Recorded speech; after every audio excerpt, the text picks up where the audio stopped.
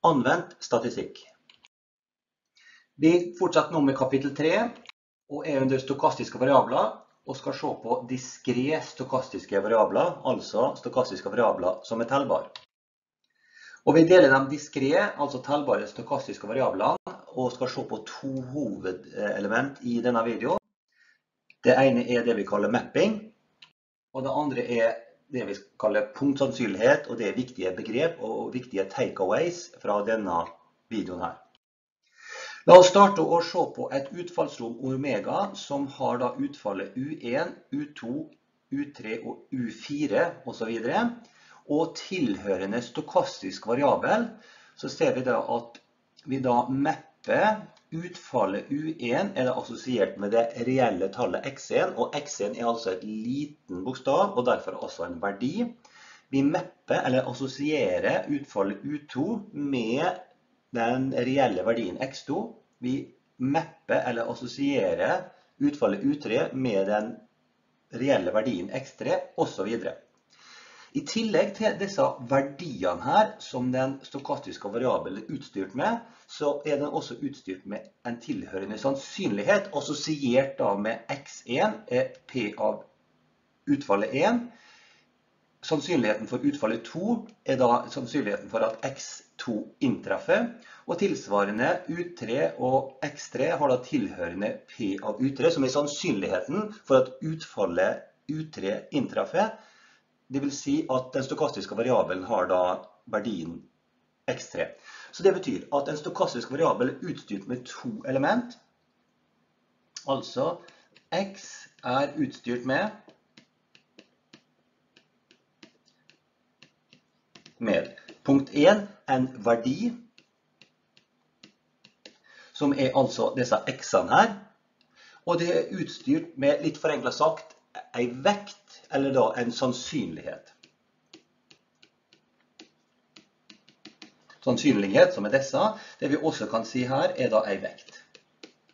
Altså, hvor sannsynlig er det for at verdien x4 inntreffer? Jo, det er da p av u4 på denne måten her.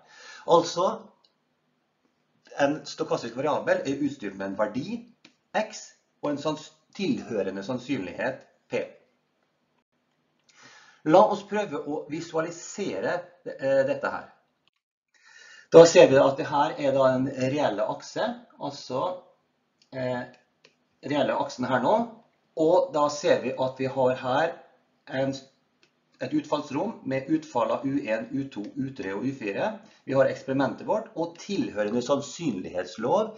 Så ser vi at assosiert med dette utfallet U1, så har vi da sannsynligheten, eller vekta om du vil, P1. Utfallet U2, sannsynligheten for at det inntreffer, er da P av U2, og så videre. La oss prøve å visualisere den sannsynlighetsfordelingen her. La oss prøve å eh, visualisere sannsynlighetsloven. Så da ser vi at utfallet U2, det er da har en verdi x1 med tilhørende sannsynlighet P av U1. Utfallet U2 fra utfallsrommet har da en tilhørende verdi x2 med sannsynlighet p av U2, og så videre. Så du ser at enhver verdi som den stokastiske variabelen kan ha, er, har da en tilhørende assosiert sannsynlighet eller vekt for at den verdien, i dette tilfellet x1, skal inntreffe. Sånn er det med alle utfall i utfallsrommet som vi da kan visualisere der vi har x her nå, altså lille x her nå. Lille x, det er den der. Det betyr at det er verdien vi snakker om. Vi setter nå den figuren der nederst til venstre for å ha den i bakhodet når vi nå skal nå se på en en lignende situasjon der utfallet U1 er assosiert med verdien X1, men at også utfallet U2 er assosiert med samme verdi X1. Og ikke nok med det at utfallet U3 er også assosiert med samme verdien, med andre uh, X1 i dette tilfellet. Det betyr at flere forskjellige utfall kan være assosiert med n og samme uh, verdi for den stokastiske variabelen. La oss prøve å visualisere det. Da ser vi at utfallet U1 den har da samme eh, verdi x1 som utfallet U2 har også samme verdi, nemlig x1, og utfallet U3 har da samme verdi, nemlig x1. Men selv om de har samme x-verdi, samme x-verdi, så ser vi at de kan generelt ha forskjellige sannsynligheter. Så du ser at hvis vi ser på den U3 her, den har så stor sannsynlighet, hvis vi skal visualisere det. Den uh, utfallet U2 har da sannsynligheten P av U2, som har så stor sannsynlighet. Og til slutt så ser vi at utfallet U1 har så stor sannsynlighet for å inntreffe. Så selv om x-verdiene er de samme, så kan, kan de, uh, kan de sannsynlighetene for at de inntreffer, de tre forskjellige utfallene, være forskjellige. Og da ser vi, hvis vi sammenligner denne figuren her med denne figuren her nå, så ser vi at eh, vi visualiserer det ved at altså utfallene går til n og samme x-verdi. Og da har vi x-verdi her, altså tallinja, den reelle tallinja, som funksjon av vekta om du vil, eller sannsynlighet. som vi litt laust kan si er vekt. Hvor stor sannsynlighet er det for at den, det utfallet inntreffer? Altså, U1, U2 og U3 kan mappes til samme reelle x-verdi, x1 i dette tilfellet. Og da ser vi her at hvis, hva er sannsynligheten for at x er lik xi, der x da er lik 1, 2 Eh, og 3? Jo, det er mengden av alle utfall, U1, 2 og 3 i vårt tilfelle, slik at x av de tre utfallene er lik xi. Jo, men det er jo mengden her, ser vi, av utfall 1, 2 og 3. Og sannsynligheten for at utfall 1 inntreffer er P av U1. Sannsynligheten for at utfall 2 inntreffer er P av U2, og sannsynligheten for at utfall 3 inntreffer er P av U3. Med andre ord, vi summerer over de aktuelle utfallene som eh, vi ser på i dette tilfellet, 1, 2 og 3. Så la oss nå definere oss det vi kaller punktsannsynlighet. Og da skriver vi det som en funksjon, sånn som dette her, pf av x dette og sier det at sannsynligheten for at den variabelen, store x, er variabel, er lik en spesifikk verdi, lille x. Så vi husker på at vi skiller mellom stor x og liten x. Stor x er variabel, liten x er verdi. Og sannsynligheten da for at den variabelen har en spesifikk verdi, lille x, kalles da punktsannsynligheten i det diskrete tilfellet. Og vi da skriver det ofte på denne måten her. Og hvis vi kjenner denne punktsannsynligheten, da kan vi i prinsippet, har vi i prinsippet alt vi trenger for å kunne beregne de sannsynlighetene vi måtte ønske. Så det store å finne ut i forbindelse med sannsynlighetsmodeller, når vi skal regne på sannsynligheter, det er da å finne fordelinga, eller punktsannsynligheten i dette tilfellet, og da kan vi regne ut veldig mange statistiske verdier. Et par egenskaper som er ekstremt viktige. Punktsannsynligheten er nødt å være et tall mellom 0 og 1. Hvis det ikke er det, så har vi ikke en gyldig punktsannsynlighet. For en det går ikke an å være mer enn sannsynlighet 1. Det går ikke an å være mer enn 100% sannsynlighet for at en begivenhet, et utfall eller en begivenhet skal inntreffe. Hvis vi summerer over alle mulige x-ene, så må de summeres opp til 1. Da er det en gyldig sannsynlighetsfordeling som er normert til 1.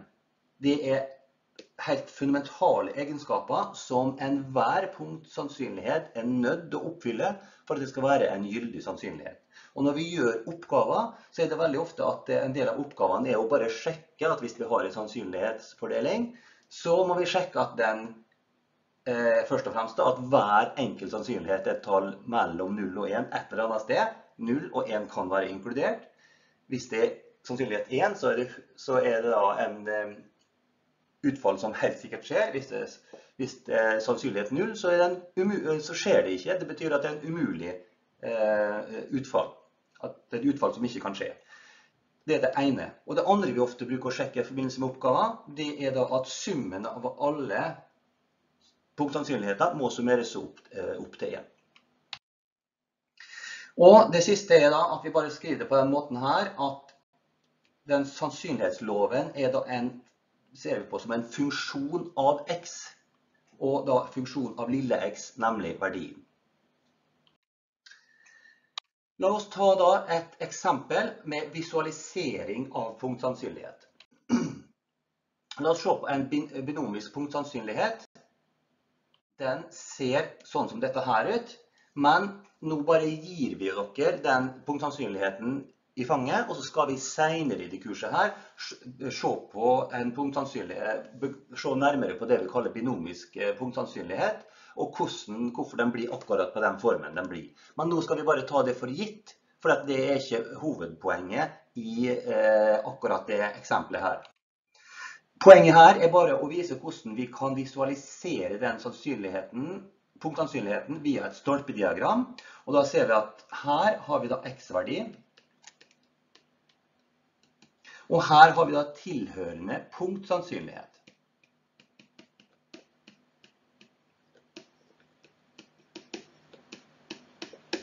Og da ser vi at hvis vi setter inn her x er lik 0, og så regner vi ut den verdien her nå, da får vi det tallet her nå som er da, vi representerer da bare vei en stolpe opp sånn som dette.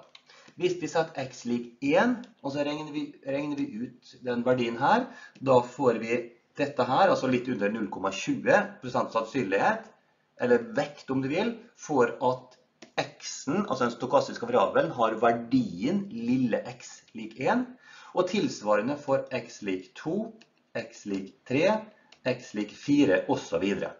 Og da ser vi dette her, at det her er da, en, da er da representert og visualisert punktsannsynligheten via et stolpediagram. Eller vi kan gjøre det på en annen måte, eh, som en litt annen smak og behag, nemlig et sannsynlighetshistogram. Og et sannsynlighetshistogram det er egentlig veldig likt et stolpediagram, med den forskjellen at i stedet for å ha sånne tynne streker, sånn som vi har her, så har vi her da bare en tjukkere søyle som har da en tjukkelse som er fra midten der til midten der nå, slik at du har en mye tjukkere visualisering av det. Men de her er likeverdige eh, i den forstand at den ene er ikke bedre enn den andre. Det er litt smak og behag, og kommer an på hva oppgaven spør etter. Eh, om vi da skal visualisere en punktsannsynlighet. Legg også merke til at vi snakker om her altså en diskret, altså tellbar Eh, sannsynlighetsfordeling. Det ser vi at den her er på en måte hakkete, om du vil. Den går sånn der og sånn og er nå. I motsetning til hvis vi hadde hatt en kontinuerlig, som vi skal snakke om senere. For da har det da, jeg bare nevner noe veldig kort, for da hadde det blitt mer glattere, sånn som dette her. Eh, sannsynlighetsfordeling. Slik at det er måten vi ser det på, om det er hakkete, tellbart, eller om det er glatt, sånn som vi ser på den tegningen. tegninga. La oss ta et nytt eksempel med å slå mynt. Eh, vi har da et eksperiment E. Vi slår mynt sånn som dette. Vi noterer om vi får krone eller mynt, så du ser at det er bare noen få stikkord som vi har for å beskrive eksperimentet. Vi må nå definere oss også utfallsrommet, nemlig at utfallsrommet omega består av K for krone og M for mynt, så det er to utfall. Og da ser du at den tilhørende sannsynlighetsloven er at sannsynligheten for, det, for eh, at K-en inntreffer, det er altså P av K er lik en halv. Og sannsynligheten for at M inntreffer, det er da P av mynt, som er lik en halv. Og da ser vi at dette er en gyldig sannsynlighetsfordeling, fordi at vi har at, at de sannsynlighetene her, kaller på P av U, lik mellom 1, det er det første vi ser. Og vi ser også at summen av utfallene av P av U, de summeres opp til 1, for dette er altså, om du vil, så er det en halv pluss en halv, og det er 1. Så dette er en gyldig sannsynlighetsfordeling.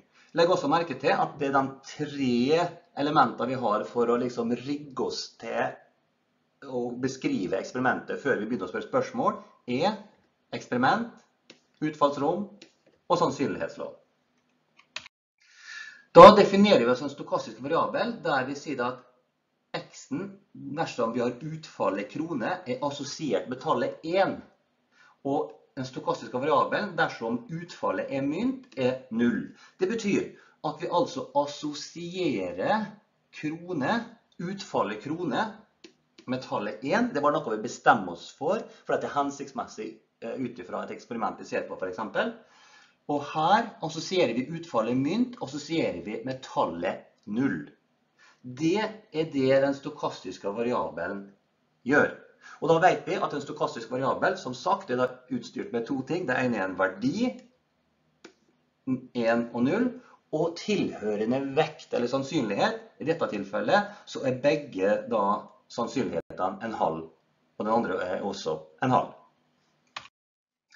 Da kan vi si at sannsynligheten for at x lik 1, at da den stokastiske variabelen x lik 1, ja, men det er det samme som å si at utfallet, eh, utfallet u slik at x-en er lik 1, er det samme som å se på sannsynligheten for at utfallet er da bare mengden til symbol her, krone. Det er da det vi kaller lille p av k, sånn som det her, som en halv. Tilsvarende om x-en lik 0, jo, men det er jo det vi definerte oss, den stokastiske variabelen, som at utfallet mynt skal vi assosiere med verdien 0.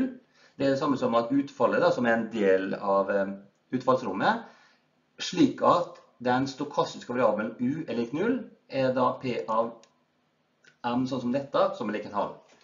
Så hvorfor gjør vi det så innmari komplisert her nå? Jo, det er fordi vi vil at vi skal gjøre det litt komplisert i starten, bare for å vise dere hva som egentlig ligger behind the scenes her.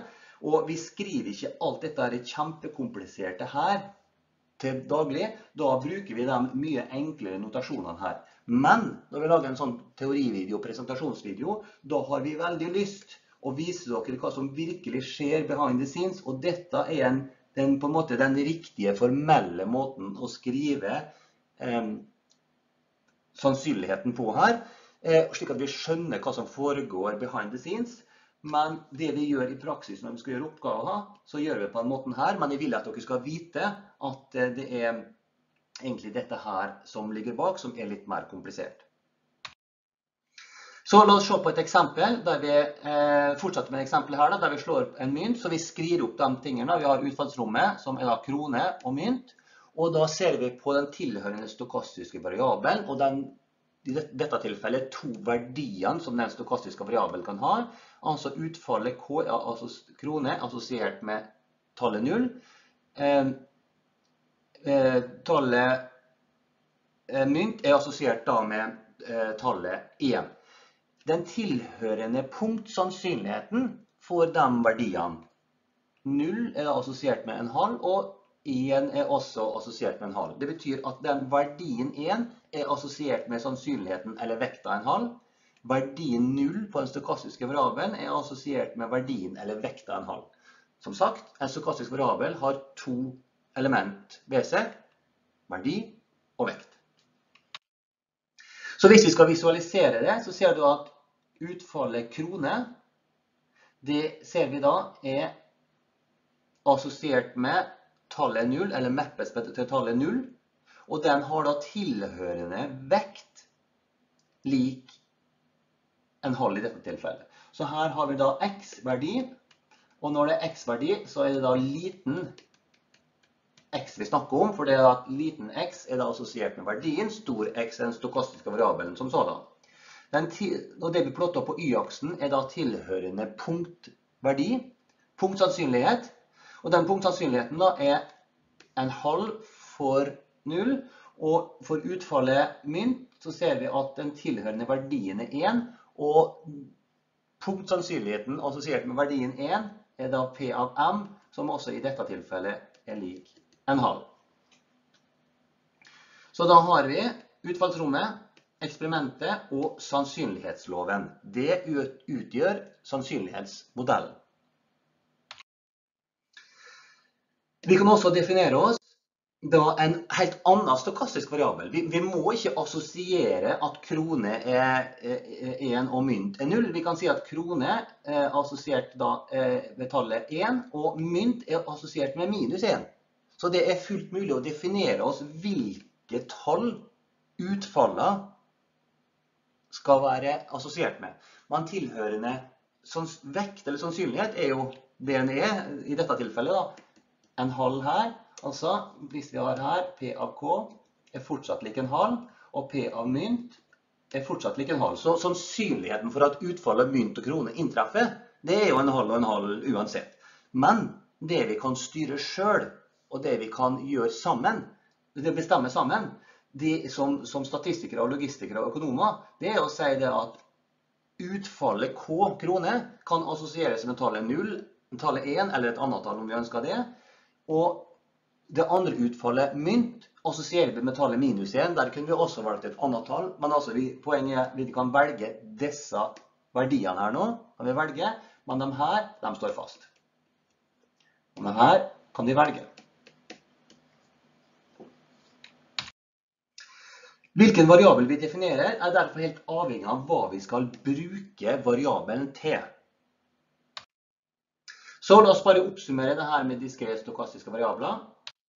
Vi har sett på at verdimengden til den stokastiske variabelen er tellbart. Og vi har sett på mapping, at eh, en stokastisk variabel er eh, assosiert ved en, eh, et utfall er assosiert ved et tall assosiert med en verdi. Og at et utfall tall da, kan assosieres med med, med et tall, og det er da et reelt tall. Og en punktsannsynlighet, den er da en funksjon av verdien x. Og den punktsannsynligheten har helt fundamentale egenskaper som en er nødt å oppfylle hvis den skal være en punktsannsynlighet, nemlig at alle verdier må ligge mellom 0 og 1 et sted, der 0 og 1 er inkludert i det intervallet. Og det må også være sånn at når vi summerer over alle mulige utfall i utfallsrommet, så må det summeres opp til 1. Hvis det ikke gjør det, så er det ikke en punktsannsynlighet, og det er noe som vi må se nærmere på.